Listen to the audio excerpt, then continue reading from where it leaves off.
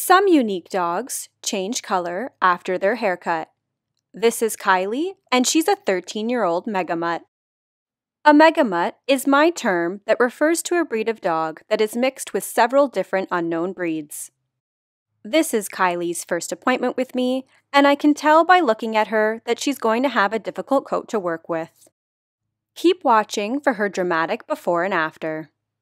I am bathing Kylie today in our English Garden scented shampoo by Groomer's Choice. After this old girl's bath, I rinse her down completely, and then, of course, she shakes herself off for me. I give her a good towel dry, making sure to get all of the excess water off, and then I spray her down in our Speed Dry Spray by Show Season, and I brush that through her coat. I get her all set up in her happy hoodie and then I blow dry her with the high velocity dryer.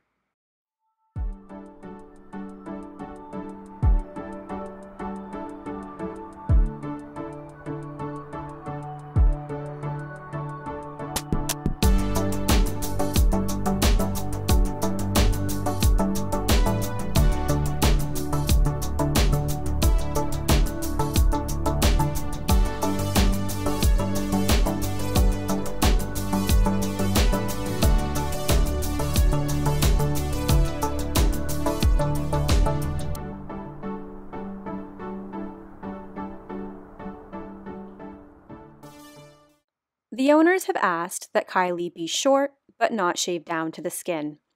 Normally, I would be shaving with the growth of the hair and not against it. In this case, Kylie has very different fur, and if I shave with the growth of the hair, I will cause lines in her haircut. So instead, using my Wahl KM10 clipper with my 5 8 inch comb attachment, I'm shaving against the growth of her hair.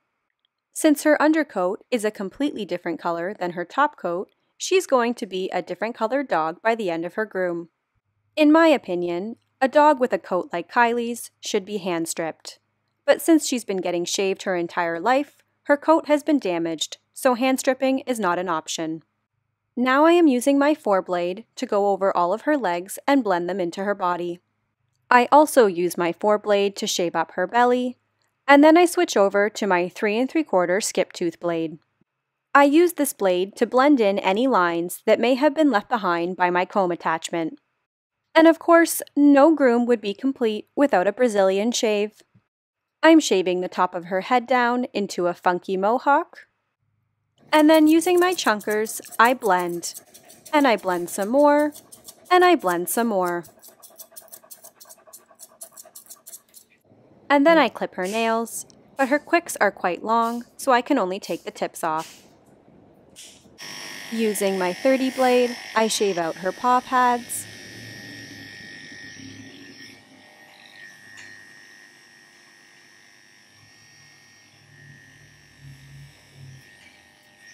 And then using my straight shears, I tidy up her very fluffy paws.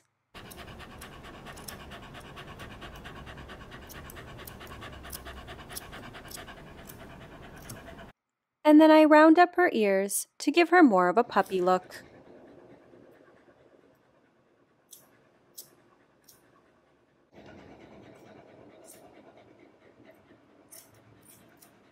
I tidy up her eyes, her eyebrows, and her beard. And then, of course, I do more blending using my thinning shears. I spray her down in our Sweet Petals cologne by iGroom, and I complete her look with a red mohawk. This is pet safe, washable hair color, and happy Canada Day to all my fellow Canadians, eh?